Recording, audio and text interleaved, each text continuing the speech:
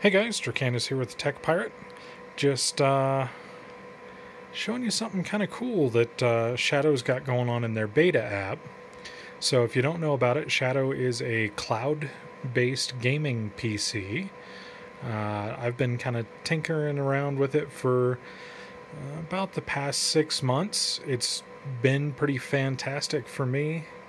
Um, but it's it's highly dependent on your internet availability and kind of your, your ping to their servers.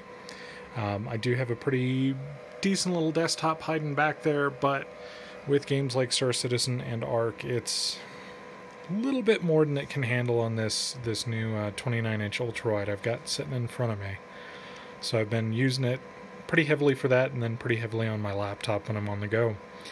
But uh, yeah, they just introduced in the beta app a way to do two monitors.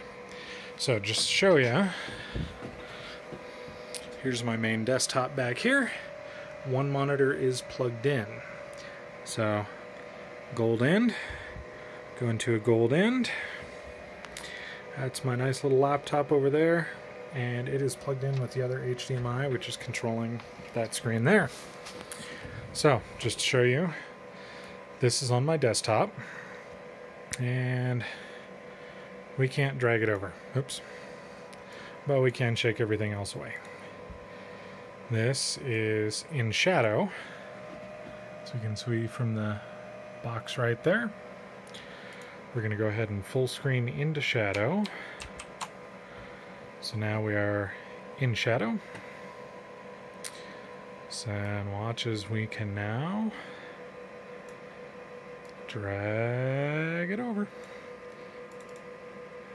So now I've got two monitors available to uh, play games, watch YouTube. Haven't had a whole lot of experience with it yet.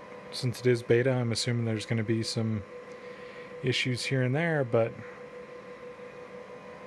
they're making progress. Good on you, Shadow.